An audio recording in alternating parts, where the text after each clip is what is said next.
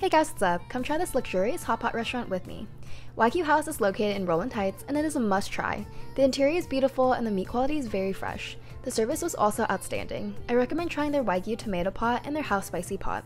Both soups were super flavorful, but the spicy one was definitely my favorite. You can't go wrong with the Japanese A5 Wagyu combo, it comes with different cuts and a fun show.